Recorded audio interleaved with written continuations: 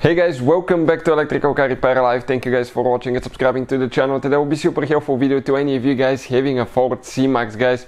Uh, that could be any generation Ford C-Max guys, but if you need to uh, program new TPMS tire pressure sensor, let's say you have one that is bad or you replaced your wheels, you need to program them. Stay with us, we'll explain how to do that step by step. All that will be covered in this video today. Now, uh, also we'll have a video how to rewarm and reset the TPMS light on Ford C-Max. Check that video if you need help with that. Sometimes all we have to do is activate the sensors so it can recognize them. In that way, you don't even need to replace them. Before we start, let me tell you a little bit about us. Every single car we get here at the garage, we try to make at least two to 300 free repair videos. Why we do that? Simply because our mission in the shop is to save you as much money as we can. All we need guys in return, please subscribe to the channel, like the video. That way we can keep making these absolutely free videos. If you guys need to buy any parts, tools for a really good price and quick shipping, check out the link in the description of the video below. That's where we get all our tools supplies from and you can save yourself quite a bit of money.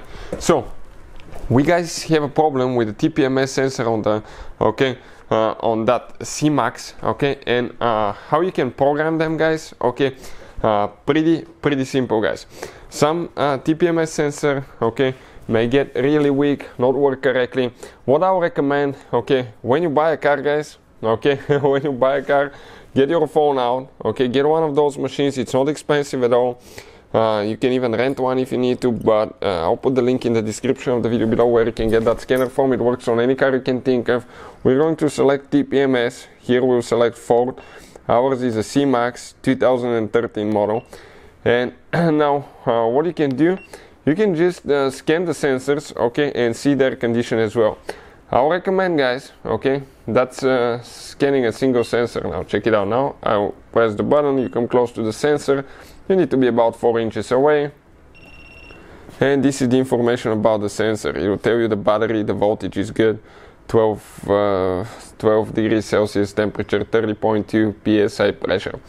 So I'll recommend guys, okay, when you buy a car sometimes, uh, just get them right here the number, uh, the ID number and take a picture of those and have it for your record. So in case you go to a shop or anything like that that they damage them you can easily guys program them to match later as well.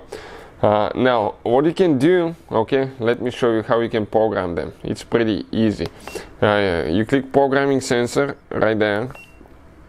Copy by activation or by manual input. Okay we go by activation. We're going to select the right front sensor copy. Okay. Right there. We scan it already. Uh, what you can do guys okay let me show you now. You can go here okay and you can actually guys uh, find all the sensors. Okay you can scan all sensors and it will let you uh, scan all the sensors around the vehicle.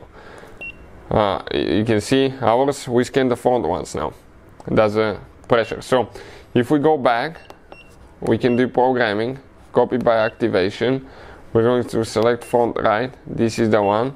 And now it says keep programming sensor within 4 inches.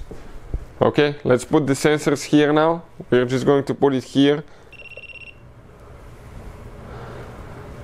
Okay. Press any key to continue. This sensor the temperature is 20 degrees voltage is okay. 0 psi it's out of the vehicle.